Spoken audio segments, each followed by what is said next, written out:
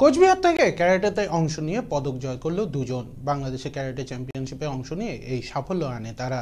তাদের এই সাফল্যে অন্যান্য ক্যারাটেকাররা আশার আলো দেখছেন। তাদের মধ্যে একজন রাহুল বাস্পর এবং অপরজন পূজা দাস। তারা অত্যন্ত দরিদ্র পরিবার থেকে উঠে এসে এই ধরনের সাফল্য এনে দিয়েছে কোচবিহারকে। দীর্ঘ পরিশ্রমের পর তারা বাংলাদেশে ওই চ্যাম্পিয়নশিপে অংশগ্রহণ করে পদক ছিনিয়ে আনতে পেরেছে বলে জানা গেছে। বাংলাদেশে ক্যারাটে চ্যাম্পিয়নশিপে অংশ নিয়ে জয় করলেন কোচবিহারের দুজন।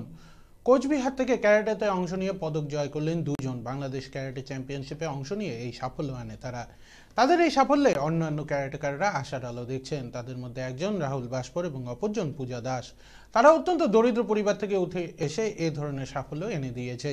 দীর্ঘ পরিশ্রমের পর তারা বাংলাদেশে এই চ্যাম্পিয়নশিপে অংশগ্রহণ করে পদক ছিনিয়ে আনতে পেরেছে বলে জানা গেছে। এমবিট লাইট এক আনন্দমুখর ভবিষ্যতের সমাহার।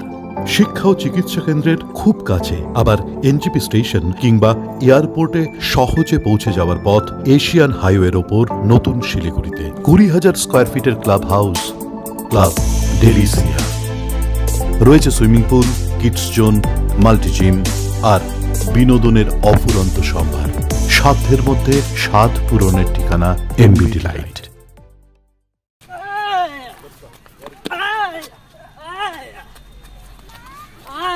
আনাউল্লাহ, বলবি।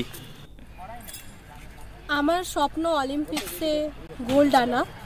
এতদিন প্র্যাকটিস করে গেছি, পারিবারিক সমস্যা খারাপ, বাবা টোটো চালান। তাও স্যারের মানে স্যার আছেন, বাবা আছেন, স্যার প্রেশার করে যাচ্ছেন না প্র্যাকটিসটাকে চালিয়ে যেতে হবে। যতই আর্থিক সমস্যা থাকুক কিছু থাকুক প্র্যাকটিসটা করে যেতে হবে। স্যারের এত আগ্রহের পর আমার বাবা প্রচণ্ড সাহায্য করেন। স্যারও সাহায্য করেন আমার স্যার কতটা উৎফুল্ল এই যে একটা বাংলাদেশের মতো ইন্টারন্যাশনালি বলা চলে যেহেতু বাইরে। মেডেল আনতে পারলে কতটা ভালো লাগছে আর কি? ভালো লাগছে। এরপর নেক্সট গেম মালয়েশিয়াতে আছে। সেটাতেও প্রস্তুতি নিচ্ছি যেন সেখানেও ভালো ফল করতে পারি।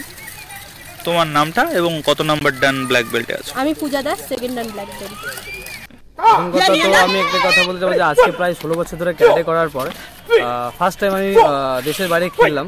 তো সেইভাবে আগে প্র্যাকটিস সেভাবে অপরচুনিটিগুলো ছিল না। এখন অপরচুনিটি আস্তে আস্তে সেভাবে খেলতেছি। তো বাংলাদেশে যাওয়ার পরে খুবই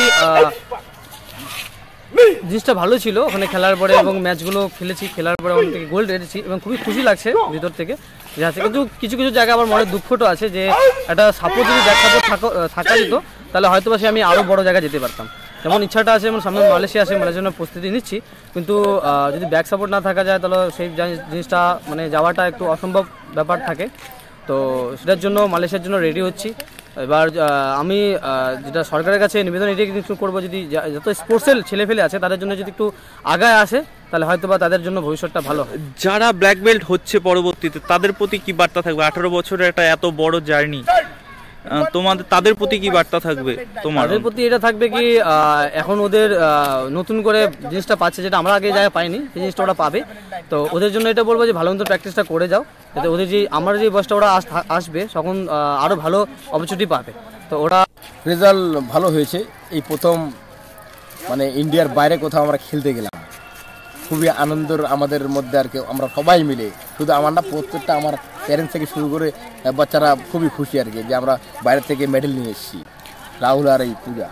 পূজা কিসে পেয়েছে এবং রাহুল কিসে Puja first and second Rahul first and third kata and kumite. আচ্ছা এতে কি বলবেন? যারা শিখছে এখন বর্তমানে যারা আপনার ছাত্র বা তাদের উদ্দেশ্যে কি বলবেন? মানে আমি স্টুডেন্টদের উদ্দেশ্যে একটা কথাই বলব আমি ভালো পরিশ্রম করছি বাচ্চারাও খাটছে। আর আমার প্র্যাকটিস এখানে প্রায় সপ্তাহে প্রায় সাত দিনই বললেই চলে আর কি। সাত দিনই প্রায় প্র্যাকটিস হয়। তো ভালো ফল হবে আশা করি। বাইরে আবার ইচ্ছা আছে একটু বাইরে যাব। মালয়েশিয়াতে নেক্সট টাইমে যাওয়ার ইচ্ছা আছে আর বাচ্চাদের নিয়ে। সামনে আমারও টুর্নামেন্ট আছে। হিন্দু বাংলাদেশ। এটার জন্য রেডি হচ্ছি। দীঘাতেও একটা প্রোগ্রাম আছে। নেপালেও একটা টুর্নামেন্ট আছে। সেটার জন্য প্রস্তুতি পর্ব চলছে আর কি।